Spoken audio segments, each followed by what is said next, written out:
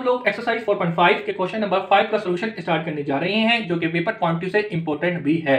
तो चलते हैं इसके सॉल्यूशन की तरफ़। तो भाई क्वेश्चन नंबर 5 में कहा गया है how many terms are in GP 1/3 1/12 1/48 and so on to जाते जा रहा है एंड दिस इतना बड़ा नंबर तो भाई बेसिकली इस क्वेश्चन के अंदर आपको एक जीपी की सीक्वेंस दी गई है और कहा गया है हाउ मेनी टर्म तो इसके अंदर कितनी टर्म्स होंगी? नंबर ऑफ़ टर्म्स यानी कि टर्म्स को किसे प्रेजेंट करते हैं? एन तो भाई, इस क्वेश्चन के अंदर सिर्फ़ आपको एन मालूम करके देना है। तो भाई क्वेश्चन की सोल्यूशन की तरफ़ चलते हैं, अपने जो बेसिक आइडिया और कॉन्सेप्ट है, वही यूज़ करेंगे, जो कि फार्मूला शीट पे मैंने लिखे हुए भी हैं। तो भाई, सबसे पहले यहाँ पे मैं जो गिवन दिया है गिवन हमें क्या दिया है? गिवन हमें एक सीरीज़ दी गई है one upon three one upon twelve one upon forty eight and so on to जाते जा रहा है, और फिर क्या लिखा हुआ है? One upon one nine six six zero eight ठीक है जी भाई? उन्नीस लाख, नहीं नहीं, कुछ पता नहीं क्या कह एक लाख नाइन्टी सिक्स हज़ार छह सौ आठ। ये नंबर लिखा हुआ है भाई, क्या बात है।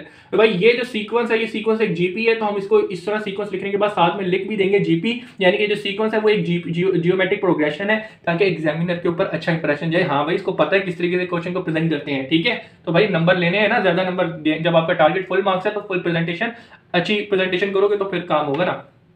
अच्छा तो भाई, यहाँ पे जरा देखते हैं। भाई, हमें ये सीक्वेंस दी गई है, और रिक्वायर्ड का कहा गया है कि how many term how many how many terms इसके अंदर कितनी टर्म्स होंगी? ठीक है ना भाई? टर्म्स आपको कहा गया है, इसके अंदर कितनी टर्म्स होगी जिसको हम एन से प्रेजेंट करेंगे, यानी कि एन मालूम करके देना है। तो चलते हैं एन मालूम करना और अपना आंसर देना है। तो भाई, हमें पता है ये जीपी है तो जीपी के अंदर जनरल टर्म का फॉर्मूला क्या होता है? T N equal to A R N minus one होता है। ठीक है जी? तो भाई, इस फॉर्मूले के अंदर ए और आर की सबसे पहले ज़रूरत है। तो ए किसके इक्वल होता है? फ़र्स्ट टर्म फ़र्स्ट टर्म में सीक्वेंस में क्या दिया? वन अपॉन थ्री फिर आर की ज़रूरत है? R is the difference division between two term तो भाई second term divided first term तो सेकंड टर्म हमारे पास यहाँ पे वन अपॉन ट्वेल्व है। फ़र्स्ट टर्म हमारे पास यहाँ पे वन अपॉन थ्री है। ठीक है जी बेटा, अब इसको सोल्व करने के लिए आप इस तरीके से भी कर सकते हैं कि इसके साथ डिवाइड में तो ऊपर जाके से मल्टीप्लाई में उलट करके लिख दिया जाएगा। तो इसको और इसको हमने काटा तो ये क्या बन जाएगा? वन और थ्री इसको काटेंगे तो फोर आ जाएगा। थ्री का डेपोमीटर फोर टाइम आता है। तो रेशो यहाँ पे आपके पास वन अपॉन फोर आ जाएगा। अब यहाँ पे मैं उन बच्चों के लिए बता रहा हूँ जिनको यहाँ पे थोड़ी सी मुश्किल हुई है। तो अपना को कैलकुलेटर उठाएँ। कैलकुलेटर में सबसे पहले वन अपॉन क्या लिखा हुआ है? नीचे ट्वेल्व लिखा हुआ है। वो लिखा। फिर इसके बाद नीचे आ जाए नीचे क्या लिखा है? वन अपॉन थ्री तो वन अपॉन थ्री को आप लिख दें। तो पूरी की पूरी वैल्यू कैलकुलेटर में डाली। इसको इक्वल कर दिया। तो क्या आंसर आया? वन अपॉन फोर आपके पास आ चुका है। ठीक है जी बेटा। तो अगर आपकी बेसिक मैथमेटिक्स कच्ची है तो भाई अपना कैलकुलेटर अपने साथ रखें, ठीक है ना? चले तो भाई अब हमें ए और आर की भी खत्म हो गई कहानी, अब चलते हैं इसके सोल्यूशन पे। तो भाई सोल्यूशन में अच्छा सबसे पहली चीज़ यहाँ पे जरा देख ले ए की ज़रूरत आर की ज़रूरत, अब एन हमें मालूम करना था तो टी एन क्या होगा? तो भाई टी एन हमारे पास ये दिया क्यों? क्योंकि लास्ट टी एन को हम लास्ट टर्म में कहते हैं तो लास्ट टर्म हमें यहाँ पे क्या दिया? ये। अगर ये कॉन्सेप्ट भी नहीं समझ आता तो इसको जरा देख लो। टी वन ये फ़र्स्ट टर्म है, ये सेकंड टर्म है, ये थर्ड टर्म है एंड सो ऑन तो जाते जाते एन टर्म है। ठीक है जी बेटा तो इस तरीके से भी याद कर सकते हो। लास्ट टर्म है तो इसको हम टीएन से प्रेजेंट कर रहे हैं, इस तरीके से भी याद कर सकते हो, जो आपको अच्छा लगे, उस तरीके से करो। ठीक है जी तो यहाँ पे मैं टीएन भी पता है ए भी पता चल गया आर भी पता चल गया, इसके अंदर सारी चीज़ें डालो और एन की वैल्यू निकाल लो, जो कि हमें रिक्वायर्ड है कि भाई इस सीक्वेंस के अंदर कितनी टर्म्स है तो वो निकाल लेंगे। तो भाई आ जाए तो भाई टी अब हम यहाँ पे हेडिंग भी डाल देते हैं कि एन मालूम करने जा रहे हैं एन का मतलब टर्म्स कितनी है how many terms in this sequence तो वो मालूम कर रहे हैं। तो भाई T N is equal to A R N minus one T N equal to one one nine six six zero eight जो कि एक लाख नाइन्टी सिक्स हज़ार सिक्स हंड्रेड एट है। ठीक है जी बेटा, कितनी लंबा नंबर है। चले तो भाई फ़र्स्ट टर्म क्या है? फ़र्स्ट टर्म हमारे पास यहाँ पे वन अपॉन थ्री है। आर हमारे पास यहाँ पे वन अपॉन फोर है। आर ऊपर पावर एन माइनस वन है, जो कि हमें पता ही नहीं है। ठीक है भाई, क्या बात है? अच्छा जी बेटा, अब जरा देखिए हम ऐसा यहाँ पे क्या करेंगे, हमारा सोल्यूशन की तरफ़ चलें। बेटा यहाँ पे सबसे पहले थ्री डिवाइड है, इधर जाके मल्टीप्लाई करते हैं। तो थ्री को वन से मल्टीप्लाई किया तो three upon three one three हो जाएगा और nine six six zero eight हो जाएगा। Equal to one upon four हो जाएगा और पावर एन माइनस वन हो जाएगा। ऐसा ही है, बिल्कुल ही है। भाई थ्री को डिवाइड करो one nine six six zero eight से इक्वल कर दो तो यहाँ पे आपके पास क्या आया? ये नंबर आ जाएगा। वन ऊपर, क्योंकि ये तो कट जाएगा, उसको ये काटा तो यहाँ पे नीचे six five five three six आ जाएगा। Equal to one upon four N minus one सही जी बेटा, अब बेटा मुझे ये वाली बात बताओ, अब हम छोटा सा एक काम कर रहा हूँ, उसको जरा समझो मैं यहाँ पे क्या काम कर रहा हूँ। जरा देखना, वो फोर की पावर एट सही जी? Equal to one upon four की पावर एन माइनस वन अब बेटा यहाँ पे मैंने क्या किया? मैं एक चीज़ आपको बताने जा रहा हूँ। बेटा फोर की पावर एट लो। ठीक है जी फोर की पावर जब मैं एट लूँगा, ठीक है जी बेटा? आप देख सकते हो आई थिंक नज़र आ रहा होगा। फोर की पावर एट लूँगा जो किसके इक्वल होगी? ये इसके। ये नंबर जो लिखा ये आ गई। मैंने क्या किया? इस नंबर को इस तरीके से करके लिख दिया। और वन की पावर एट करूँगा तो एट वन की पावर एट करूँगा तो वन ही आ जाएगा। यानी कि इस नंबर को मैं इस तरीके से लिख सकता हूँ। ठीक है ना भाई? ये अब मैंने क्यों किया? अब मैं वो चीज़ समझाने जा रहा हूँ। अब ये चीज़ तो आपको याद करनी पड़ेगी, ठीक है ना? प्रैक्टिस में कहूँ मैं डोंकी सॉरी परफेक्ट ठीक है? तो यहाँ पे जरा देखो, ये चीज़ याद करनी पड़ेगी।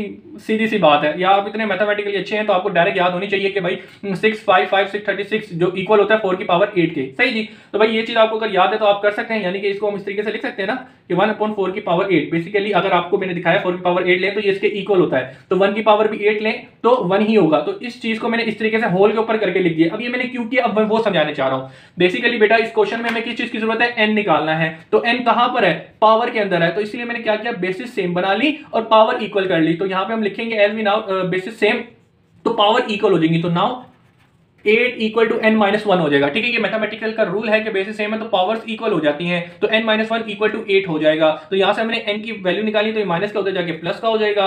इक्वल टू एन तो उसमें जमा किया तो ये कितना हो गया? नाइन तो बेटा यहाँ पे आके हमें एन मालूम करना था जो कि हमारे एन हाँ, हमें रिक्वायर्ड था वो क्या आ गया? नाइन तो इसी तरीके से हम चाहें तो अपना आपको आंसर भी चेक करवा देते हैं। एक्सरसाइज फोर के क्वेश्चन नंबर फाइव क्या क्वेश्चन आंसर नाइन है? वही हम लोगों ने निकाला है। तो ये आपका आंसर मुबारक। यहाँ पे आके हमारा क्वेश्चन नंबर फाइव हो गया कंप्लीट चलते हैं नेक्स्ट क्वेश्चन की।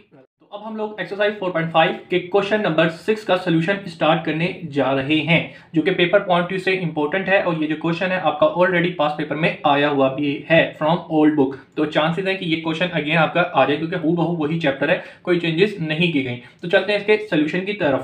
तो भाई क्वेश्चन नंबर सिक्स में हमें कहा गया है find three consecutive numbers in GP ठीक है जी? Who sum is thirty and their product is seven two nine. Basically इस क्वेश्चन में हमें कहा गया है कि फाइंड करो three consecutive term in GP GP की तीन कंसिक्यूटिव टर्म यानी कि एक साथ लिखी हुई तीन टर्म्स मालूम करो कब? जब उन नंबर का सम किया जाए तो वो थर्टी नाइन के इक्वल हो, और इनका प्रोडक्ट इनको यानी कि उन टर्म्स को मल्टीप्लाई करो तो वो सेवन हंड्रेड ट्वेंटी नाइन आ जाए। ठीक है जी बेटा तो इस कंडीशन को यूज़ करते हुए हम यहाँ पे थ्री कंसिक्यूटिव टर्म मालूम करेंगे जीपी की। तो चलते हैं इसके सोल्यूशन में। तो भाई सोल्यूशन लिखा सोल्यूशन लिखने के पहले, सबसे पहले तो जो क्वेश्चन में हमें कहा गया वो करते हैं कि भाई लेट थ्री कंजिक्यूटिव ठीक है जी बेटा कंजिक्यूटिव अच्छा यार कंजेक्यूटिव कंजेक्टिव के स्पेलिंग ये है, मैंने ख्याल से पहले मैंने गलत लिख दिए थे।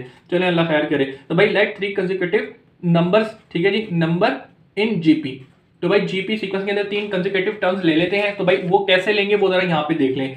ए वन ए ठीक है जी? फिर उसके बाद में A R and A R square तो ये आपको पता है, इन जीपी के अंदर जनरल टर्म का फॉर्मूला ये होता है फ़र्स्ट टर्म जो हमेशा ए बनती है सेकंड टर्म ए आर बनती है third term A R square बनती है. तो हमें यहाँ पे तीन टर्म्स कहा था तो हमने तीन टर्म्स ही ले ली हैं. अगर इतफाक से अगर आपको कोई ज़्यादा कुछ बोल दे तो फिर आपको पता है जनरल टर्म्स को यूज़ करते हुए यहाँ से ये फॉर्मूला बन जाते हैं. लेकिन फ़िलहाल हमें थ्री टर्म्स कहा गया था.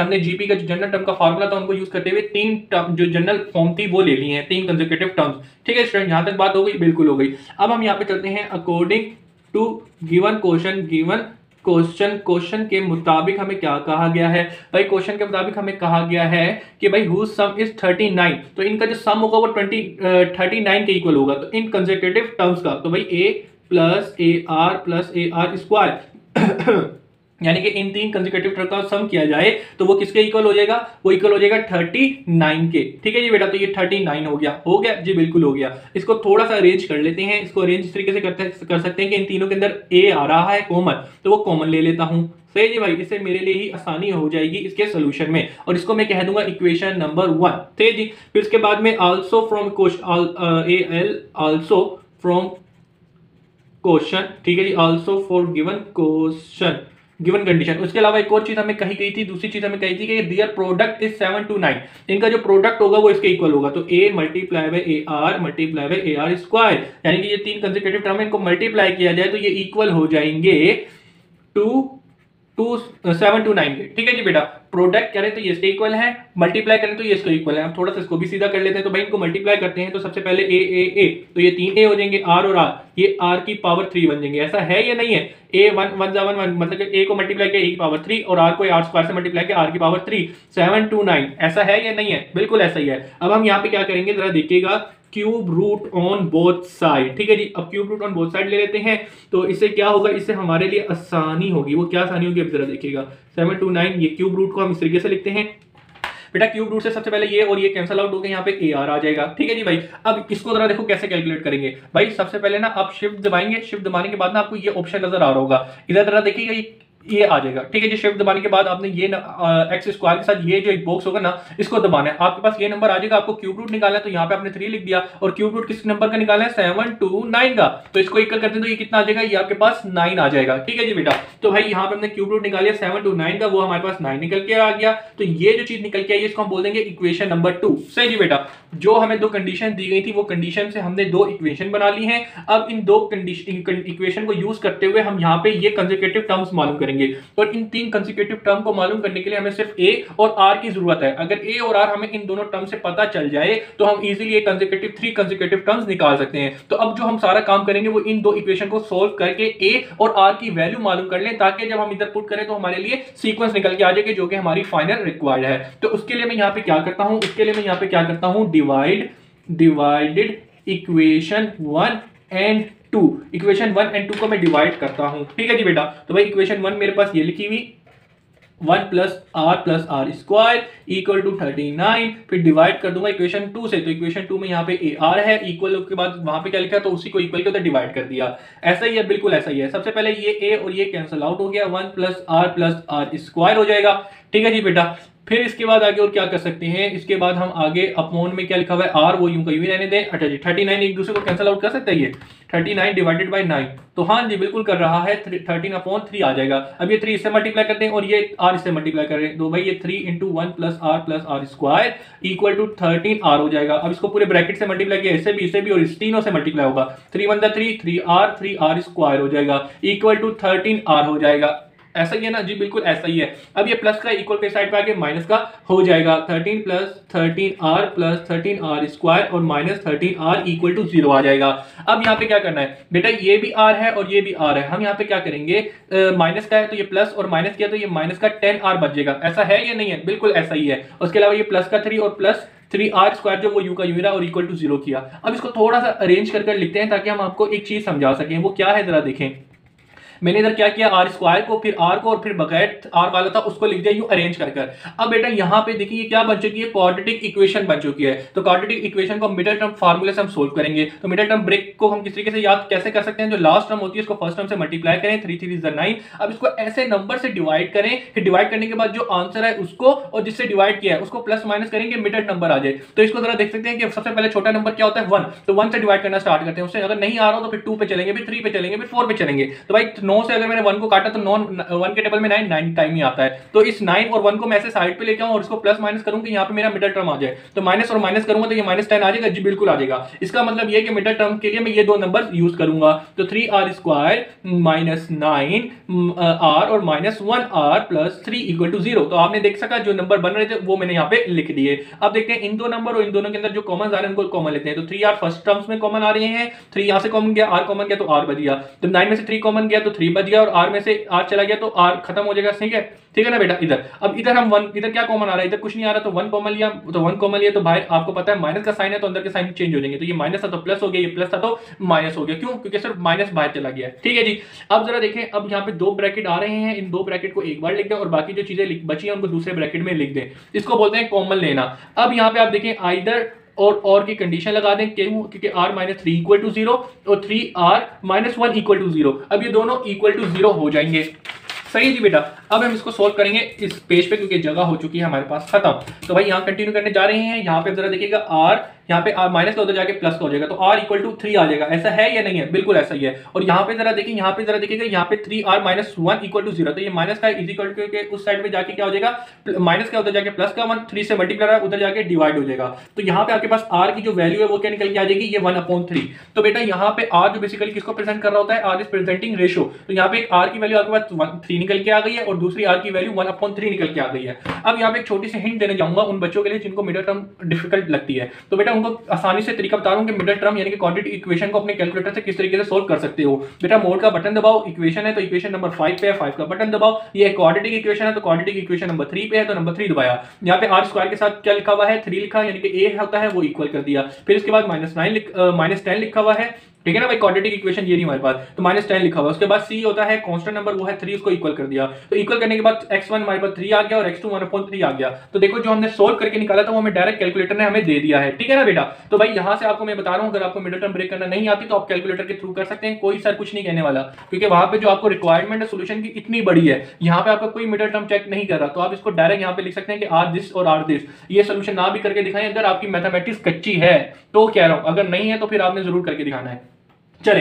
तो भाई यहाँ पे आके शॉर्ट ट्रिक भी बता दी कि भाई किस तरीके से काम होगा, लेकिन अब हम आगे चलते हैं। ठीक है जी बेटा? तो फ़िलहाल ये वाली बात आपको पता थी कि हमें जो क्वेश्चन का सोल्यूशन करना है, यानी कंजर्वेटिव टर्म मालूम करनी है, उसमें हमें आर और ए की वैल्यू पता चल जाए तो हमारी कंजर्वेटिव टर्म्स हो जाएँगी। आर पता चल गया, अब ए की वैल्यू मालूम करते हैं। तो भाई ए की वैल्यू मालूम करने के लिए हम क्या करेंगे? अब पुट इन इक्वेशन अब यहाँ पे लिख देते हैं values of r put in equation कहाँ पे पुट करेंगे? ए की वैल्यू इजीली आ जाए। तो यार टू के अंदर पुट करूँगा। क्यों? क्योंकि आर की वैल्यू पुट कर दूँगा तो ए मेरे लिए इजीली आ जाएगा। तो भाई पुट इन इक्वेशन टू तो इक्वेशन टू के अंदर पुट कर देते हैं। तो भाई सबसे पहले जरा देखिएगा ए आर Uh, वैसे a r equal to nine है। ये इक्वेशन है ठीक है? तो a r equal to nine है। आर की वैल्यू क्या निकली है? आर की वैल्यू थ्री निकली है। थ्री मल्टीप्लाई और उधर जाके डिवाइड कर दें। तो भाई ये नाइन को इससे डिवाइड किया तो ये ए की वैल्यू आपके पास क्या निकल के आ गई बच्चों? जल्दी से बता दो।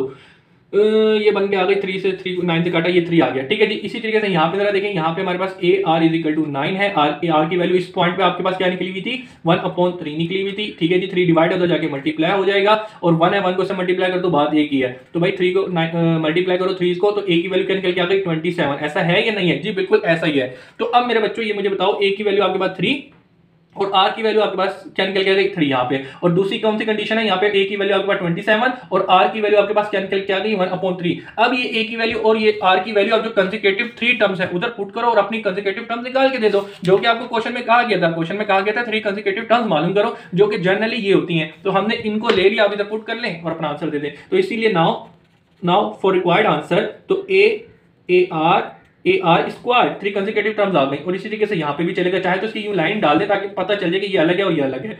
और यहाँ पे भी इधर भी हम अलग से करेंगे क्योंकि थ्री कंसिकेटिव टर्म मालूम करनी है। जनरल टर्म तो ए आर स्क्वायर थी। अब ए की वैल्यू और आर की वैल्यू जो जो सी है वो पुट करें और जो सीरीज़ बन रही होगी वही आपकी जीपीज होंगी। ठीक है? तो यहाँ पे ए की वैल्यू सबसे पहले ट्वेंटी सेवन लिख दें, फिर ए सॉरी थ्री है। सॉरी सॉरी यहाँ पे थ्री की वैल्यू ए की वैल्यू थ्री है। फिर ए की वैल्यू आपके पास थ्री है आर की वैल्यू आपके पास थ्री है, फिर उसके बाद में ए की वैल्यू यहाँ पे थ्री है, और फिर आर की वैल्यू यहाँ पे आपके पास थ्री है, और उसके ऊपर स्क्वायर है। इसको सोल्व करें। First term three three three जन नाइन फिर उसके बाद में थ्री है थ्री की पावर ली तो ये नाइन हो जाएगा। उसके अलावा थ्री ये नाइन और थ्री को मल्टीप्लाई करते तो ट्वेंटी सेवन तो बेटा एक सीरीज़ जो थी आपके पास ये बन के आ गई। ठीक है जी, ये एक जीपी है। जीपी जियोमेट्रिक अब इसी तरीके से यहाँ पे जो ए और आर की वैल्यू आई है, वो general term of consecutive term में पुट करेंगे और अपना आंसर दे देंगे। तो भाई ए की वैल्यू यहाँ पे क्या है? 27 फिर ए की वैल्यू यहाँ पे क्या है? 27 और आर की क्या वैल्यू यहाँ पे 1 अपॉन थ्री फिर आगे चलते हैं। ए की वैल्यू यहाँ पे क्या है? 27 और आर की क्या वैल्यू है? 1 अपॉन थ्री और उसके ऊपर है स्क्वायर तो भाई सबसे पहले इसको सोल्व कर ले। तो भाई थ्री को ट्वेंटी से कैंसिल आउट करेंगे तो नाइन आ जाएगा। जी, बिल्कुल आ जाएगा। फ़र्स्ट टर्म तो ट्वेंटी सेवन सेकंड टर्म हमारे पास नाइन आ गई। अभी इसको सोल्व करते हैं। तो भाई जरा देखो वन का स्क्वायर किया। वन का स्क्वायर किया वन और थ्री का स्क्वायर किया नाइन तो नाइन एकदम नाइन नाइन दिया ट्वेंटी सेवन होता है. तो ट्वेंटी सेवन नाइन एंड जो थर्ड टर्म है, वो क्या बन के आ गई थ्री तो यहाँ से आपके पास ये कोड जीपी बन के आ गई. सीधी सी बात थी भाई कि जब दो ए और दो आर निकल के आएँगे तो सीधी सी बात है दो सीक्वेंस ही बनेगी. अब आप अपनी बुक के पीछे जाएँ. ठीक है जी बेटा? और बुक के पीछे जाएँ. एक्सरसाइज हमने कौन सी की four point five question number six को सर अंजाम दिया है. तो यहाँ पे देख लें, हमें जो कहा गया था, एक ये बनी है और एक ये बनी है. तो दोनों सीक्वेंस हम लोगों ने निकाल ली है. तो भाई जो रिक्वायर्ड था, यहाँ पे हेडिंग भी डालने रिज़ल्ट आपको क्या था थ्री कंजिक्यूटिव टर्म्स चाहिए थी, ठीक है ना? तो भाई थ्री कंजिक्यूटिव कंजिक्यूटिव टर्म्स ठीक है जी? Terms in GP term in GP term T या टर्म इन जीपी ठीक है जी बेटा? तो वो क्या है? थ्री नाइन ट्वेंटी सेवन ठीक है? एक ये हो गया, या तो ये बन सकती है, या तो ट्वेंटी सेवन नाइन या थ्री ये सीक्वेंस बन सकती है। तो यही आपका आंसर है। तो यहाँ पे आके हमारा क्वेश्चन नंबर कौन सा है? क्वेश्चन नंबर सिक्स है। वो होता है कंप्लीट जो कि बहुत ज़्यादा इंपॉर्टेंट है। चलते हैं नेक्स्ट क्वेश्चन की